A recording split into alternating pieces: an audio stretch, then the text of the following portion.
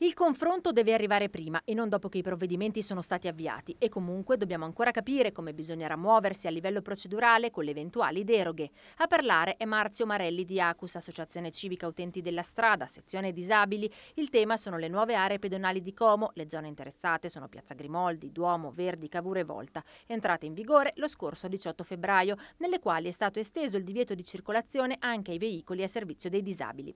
Nelle scorse ore si è tenuto un incontro tra l'amministrazione comunale e gli esponenti di alcune associazioni, tra cui la Leda, Lega per i diritti delle persone con disabilità, i cui vertici hanno diramato un comunicato in cui si dice che sono stati chiariti i punti chiave dell'ordinanza. Dalle informazioni ricevute è emerso che le norme sono state applicate in maniera corretta, scrive il presidente Viviana Tombolillo, con la possibilità di derogare il divieto nel caso in cui una persona disabile sia residente o debba passarci. Secondo le dichiarazioni degli amministratori, tutte le persone disabili, si legge ancora, sono state contattate preventivamente ed è stata prevista prevista la sanatoria per casi di accesso motivato e urgente senza preavviso.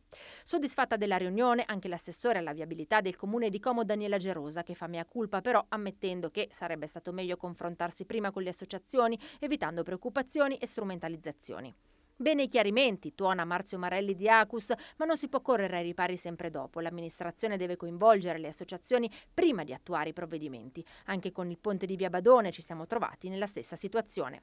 Noi peraltro all'incontro non eravamo stati invitati e comunque nessuno ha ancora spiegato come effettivamente si dovrà procedere con le deroghe e la sanatoria. In ogni caso per noi non finisce qui, dice ancora Marelli, l'ordinanza va chiarita in tutti i suoi aspetti perché, ribadisce, non è ancora stato precisato cosa bisogna fare a livello pratico. Pacífico.